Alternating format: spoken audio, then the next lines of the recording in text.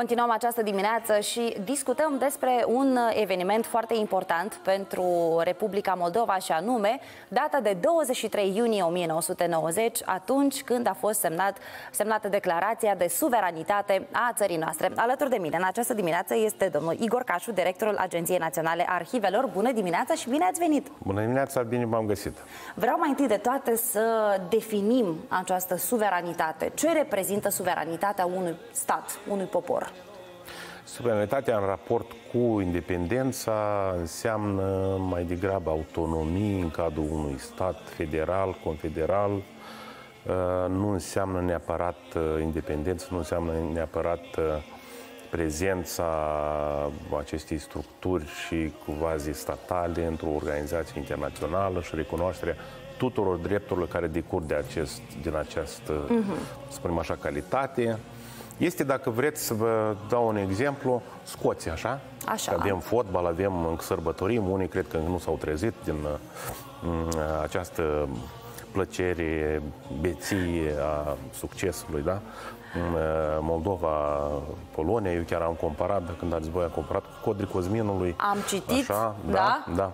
Bun, deci văd că, da, lumea citește. Vă urmări. Uh, Aș compara cu Scoția, țara Galilor, apropo, pentru că facem uh-huh. această paralelă. În 94 am avut primul succes major, da? 2-1, chiar, nu, același, același scor, da, 3-2. 3-2. În, da?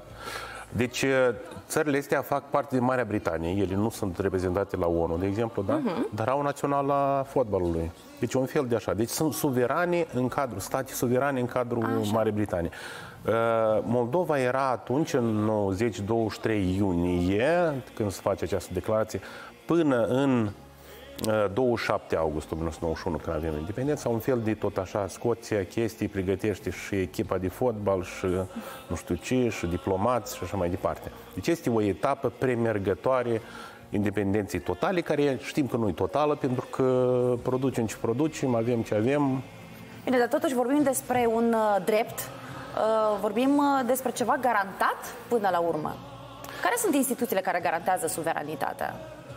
Deci noi aveam, în principiu, noi aveam din 40, dacă s-a făcut această republică, da? S-a făcut la Moscova, uh, sesiunea din uh, 2 august 1940.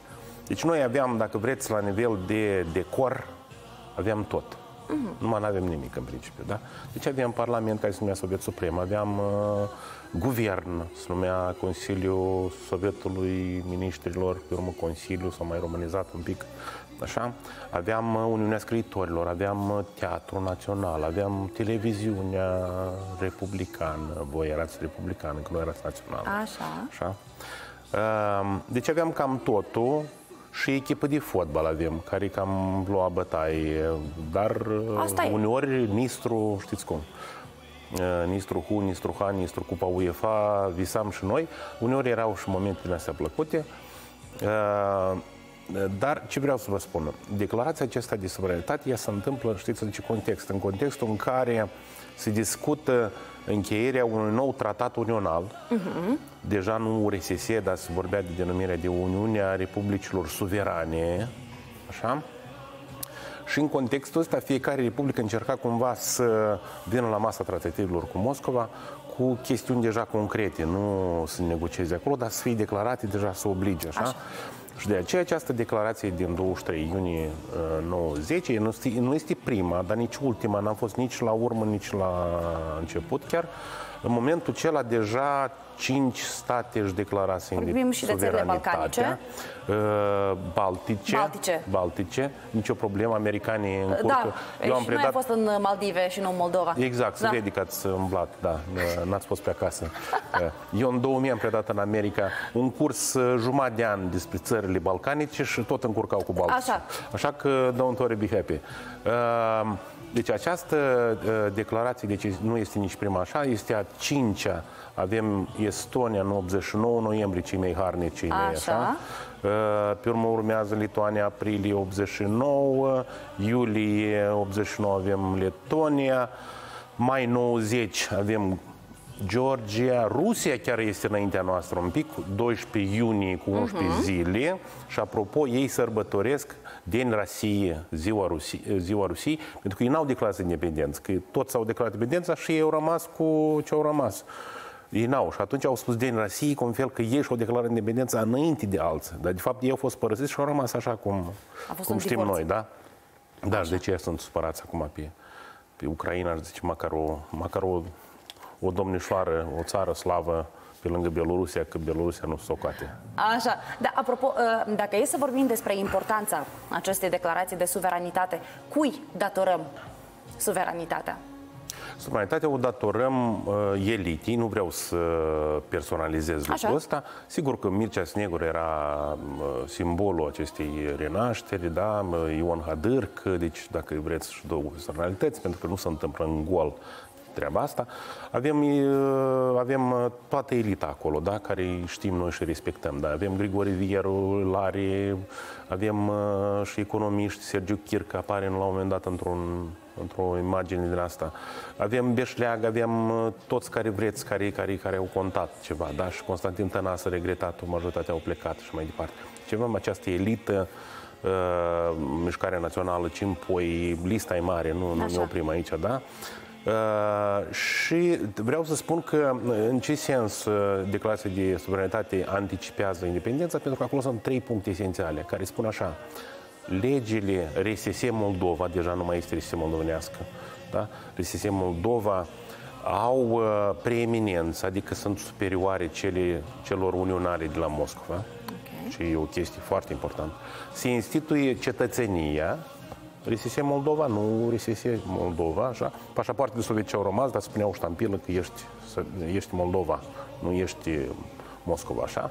așa. Și trei, uh, avem dreptul să cu potrivit acestei declarații, să uh, stabilim relații uh, diplomatice, cu țările străine și chiar recunoaștem ONU, statutul, valorile și nu știu ce, adică aș combatem la dar ne temem cumva că rușii cu armata să nu de relații diplomatice sau și de relații economice care puteau fi stabilite? Relații diplomatice, inclusiv cele care, care, care implică și latura economică. Uh-huh, uh-huh. Da, da. Deci avem această, dacă vreți, declarație de independență cu o jumătate de voce, pentru că este Nenea Gorbaciov acolo, care nu trebuie neapărat uh, zgândănit și antagonizat, că nu era cel mai rău de la Moscova, că vom vedea la Puci că sunt mai răi ca el. Uh-huh. Cumva era o chestie așa, uh, uh, diplomatic, uh, să nu-i stârnim, uh, am spus o jumătate de voce și un an și un pic uh, am spus-o așa mai tare, să ne audă peste, hăi, peste mărși și peste țări, cum acolo în poveste. Da, da, da. Se aude și s-a auzit la New York și am fost primiți la ONU ceva mai târziu, în 92. Vorbim uh, despre suveranitate și în contextul în care aceasta este garantată de Constituția Republicii Moldova, de dreptul internațional. Totuși, aș vrea să vorbim un pic și despre lecția pe care ne oferă suveranitatea, obținută în 1990. Noi ne-am asumat suveranitatea, au înțeles oamenii ce reprezintă acest deziderat. Suveranitatea, dacă vreți, dacă întrebați în sens de, de echivalent, sinonim cu independența, Acolo se spunea, apropo, că și noi suntem stăpânii apelor, pământului, apelor subteranelor și a tuturor resurselor naturale Uh, și aici întrebarea, da, suntem suverani, deținem? Sigur că nu suntem, dar uh, vorba aceea, ne uităm în jur și prindem la curaj.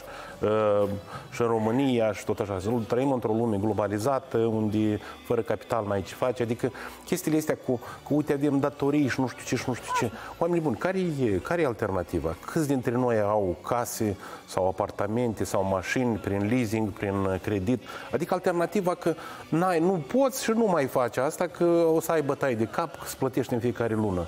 Și fix așa, adică noi nu prea avem de les. Adică alternativa este să, să nu ai nimic, să te alcoolizezi și să înțelegi. Deci toți trăiesc din leasing și ăștia care zâmbesc tare la Hollywood și așa mai departe, tot au datorii și tot au nervi și nu știu ce. Așa că avem Probleme suveranitate, avem suveranitate că putem să o ducem, cum s-ar spune, și... Ne ducem și noi cruci așa cum, da, așa da, cum da, putem. Da. Suveranitatea reprezintă și puterea statului uh, de a lua decizii în mod uh, independent, fără ingerință, fără mm, implicarea altor instituții internaționale. Se respectă acest lucru? Uh, avem destul spațiu, să spunem așa, uh-huh. să-l folosim și observăm, de exemplu, Polonia și România, așa, Uh, uităm de Polonia, nu le mai amintim că uh, o să ne bat tare următoarea dată.